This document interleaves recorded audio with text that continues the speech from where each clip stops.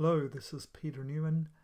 I have uh, SpaceClaim open and I'm going to bring up some geometry that was provided and there's a small uh, misalignment in the geometry. If we look straight down and zoom in we can see that the bottom that the uh, top plate is off a little bit from the bottom plate. So we're going to use the move tool and we're going to move the bottom plate use the anchor to put the anchor at the center here. I'm going to pick a direction. The direction is toward this. Then we're going to move it along that axis uh, up to the point where we get to this.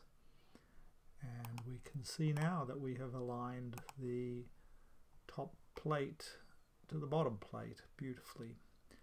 And that's all I wanted to show in this video. Thanks for watching.